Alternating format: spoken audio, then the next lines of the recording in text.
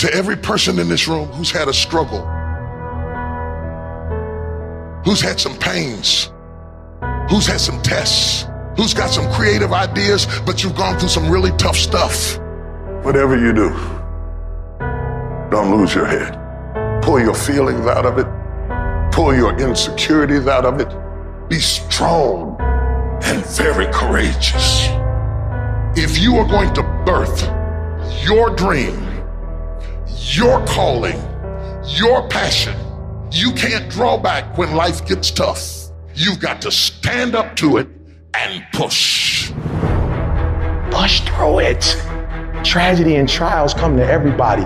Only the strong survive. You gotta have that gut strength, that belly strength, that devil defying come hell or high water strength, that inner strength that when I can't do as I would, I'm gonna do as I can, but I'm not gonna stop doing. If you start something, you're gonna finish it. Make a way.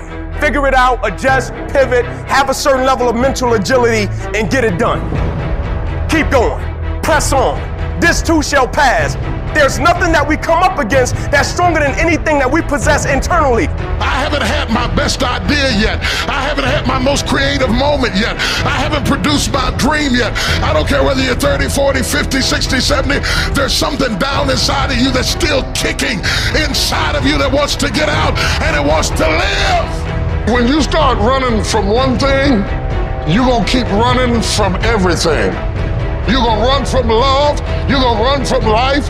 You're going to run from responsibility. You're going to run, run, run, run, run. When are you going to stop running? You don't know what you've got until all hell breaks loose. You don't know what you can take until the pressure is applied to your life. You don't know what you can endure until people stab you in the back and walk away from you. You don't know how much courage you have until you've been under fire and under struggle and under tribulation. If there's any fear in your spirit right now, it ain't for you. And the reason why most of you are not successful is because every single time stuff not going your way, you give up, you quit, you let go, and people feel weakness. They feel it.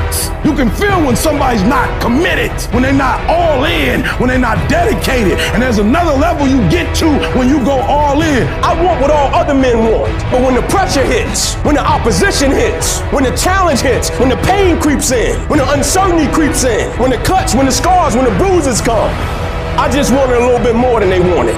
That's how I conquer, and that's how nobody has ever beaten me yet. I have never met anybody who became incredibly successful until they had suffered and sweated and sacrificed and kept their focus and fought through tears and trials and tests. And if you have a dream and you commit to it, it will come to pass. There's something that you could do that would radically change your life. Somebody could take the hand you've been dealt and win with it. Same circumstances, same ideas. They would do it through what they thought about your life. But we don't need somebody because we got you. You are the one.